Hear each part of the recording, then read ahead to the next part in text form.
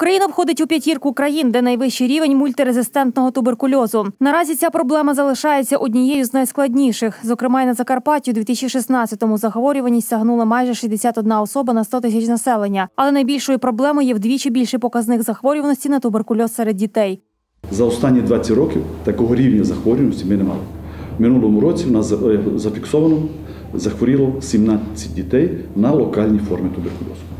Однозначно причиною цього є майже дворічна відсутність вакцини БЦЖ в нашому краї. І у, якщо ви пам'ятаєте, у 2015 році взагалі е, рівень вакцинації був біля 35%.